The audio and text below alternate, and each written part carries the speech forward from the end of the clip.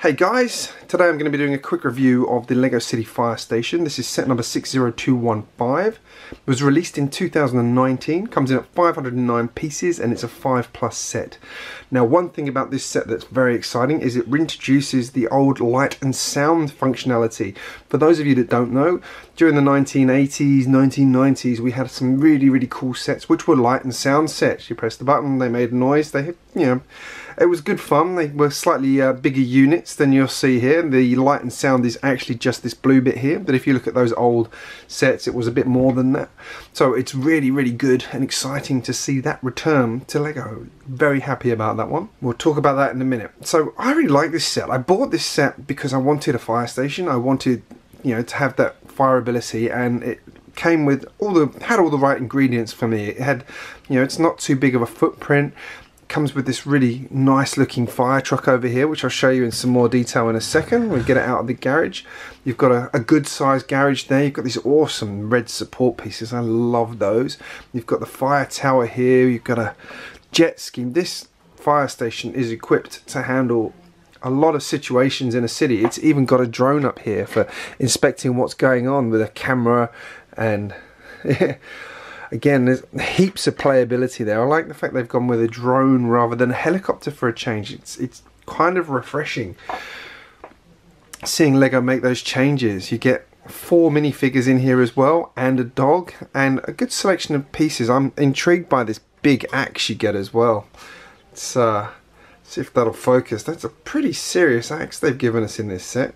It's not going to focus. Let's see Got the same, there we go. I learned that trick from uh, Greg at Bricky Tech the other day. He was having trouble focusing and he did that with his camera and it did the trick. It's not ideal, but it works. Anyway, so that's the makeup of the set. Now this is kind of modular again.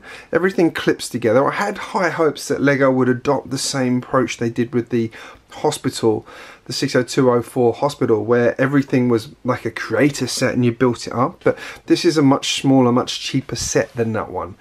The hospital, I believe, was a hundred and twenty dollar set, I think it was, and this one's a, a hundred dollar. Actually, no, it was a hundred and fifty dollar set, and this one's a, a hundred dollar set. If you go on the Australian RRP, obviously that's Australian dollars, not US dollars, which is very different to our pricing. Not a bad set. You get a lot of stuff in it. There's a lot to do. This was it wasn't a hard build for for me as an adult building it, but um, had a few challenges. I love I love having these shutters. I, will say up front, I never had any sets growing up that had a garage door in it. I always wanted a garage door. Now I've got a couple of sets with a garage door in it. Very happy. I'm easily pleased when it comes to things from my childhood that I missed. Light and sound, I never had that as a kid either. So yeah, let's be uh, let's be upfront and say that. Okay, now first of all, I'm going to show you around the actual tower and the fire station itself and then I'll go into the individual builds. Apologise for my turntable, I had an argument with a spray can recently, nothing to do with me. I will be replacing this very soon. Looking around the set, we'll start on this side here, I've left the dog on there. We've got one of the uh, Jaws of Life slash angle grinder type things there. We've got one of those axes I mentioned just now, which is kind of cool. I've never seen it. It's quite serious for a, for a Lego set to have an axe like that. So obviously Lego's taking fire safety quite seriously. Now living in Australia, that's very important. Axes are important for helping with things like getting trees out of the way and stuff like that when there's um, things going on. Those of you who don't know what's going on in Australia at the moment, go and check the news. You've got this helipad on the top here. Now that's actually, uh, intriguingly, that's a bigger helipad than you get for most helicopters just for this tiny drone. In fact, that drone is, on reflection, quite big compared to most of the uh, minifigures. So that actually uh, conceivably could be a water bombing drone. Anyway, we'll come back to that one in a minute. You've got some steps leading up here. You've got the sliding garage door, beautifully smooth. Look at that, just slides effortlessly up and down. Beautifully done. You've got the pier over here with a couple of mooring points for the jet ski. You've got the life ring here. We've got the announcement system there. We've got these spotlights all over the set as well.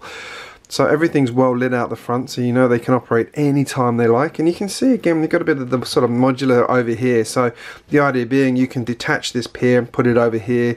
You can lay it out differently. You can see Lego's put various anchor points on here to make it that you can do it however you want really. You can even move the tower around if you want to and put that somewhere else. So again, on the end here, more anchor points. So it's good that they're kind of taking this modular approach to things where you can build it out. There's not too many stickers on this set. We've got the one up here actually on the building and then there's a couple more on the car but that's really it for the stickers which is good. We've got some very nice pieces here. We've got a clock inside. We've got, I find it quite fascinating. We've got the movie floor here. Let's just see what are the what are the firefighters watching. They're watching the firefighter movie with the emergency lights above it. They've got their popcorn at the ready in there. We've got the watchtower up the top here with a rotating seat and we can see there's an emergency on the screen there so they must be going out soon. And then down on the bottom we've got the Ghostbusters hotline, I mean the fire service hotline. we got one! Not a lot else to see around the back but you can see into it and I like the fact that Lego's put a bit of thought into actually not just having your standard kind of couple of empty floors. They've actually gone out of their way to fill these floors, which is brilliant in my books. I love that. And then just round the back here, again, not a lot to see. Got a few antennas on the roof up there. And then we're back round to where we began. Now the fire truck. This was a good build. A lot went into this. I like the fact they've got the little details like this side steps. We've got mirrors. We've got a full-on bull bar at the front and light and sound on the top. We'll talk about the light and sound in a minute. Going round, I like how it puts how it's put together. It's a, a well proportioned build. I think personally, I think it's very well laid out. There was, it was a nice build. It didn't feel at all repetitive. Went together well. We've got that fire hose system there that goes round. We've got the axe on the side there and the driver inside. There's not a lot to write home about inside other than there's a, a steering wheel. You've got a couple of doors here, uh, storage areas here. In this side we've got some cones and then the other side you're just meant to put some studs in there for the fire extinguisher here just it's a stud shooter we know how that works there's a little bit of space behind the driver there as well if you wanted to use that one let's just have a look in there so yeah, there's a, a tiny, tiny bit of space behind him, but not a huge amount to write home about. But you can definitely put something in there if you want to. It would have been good to use that space a little bit better. But we've got Fireman Sam in there, or whatever his name is. I don't actually give you names on these figures, so let's call him Fireman Sam, just because that's a fun show. Now, the elephant in the room here is the light and sound, which I really did want to show you. Now, in an ideal world, you press this button on the top here and the lights come on and it makes a sound and they alternate and flash. In my case, nothing. It's not working. That's fresh out of the packet. It shouldn't need a fresh battery. It's supposed to have a battery in it ready. I'm either this is broken or there's something wrong with the battery, so I will change the battery and find out what's supposed to happen. But what's supposed to happen is you press that and it stays on and that's it. And it's meant to make sound. I'm a bit sad about that one, I really am. Um, that's one of the first times something's been broken in one of my Lego sets when I've got it. So I will be emailing Lego to get that one fixed. I really did want to show you that one. Imagine it works, it'll be awesome. A lot of fun. I did look online at a few others to see how it's supposed to sound and look and yeah, that's not how it's supposed to sound and look. So I'll come back to you when that's working.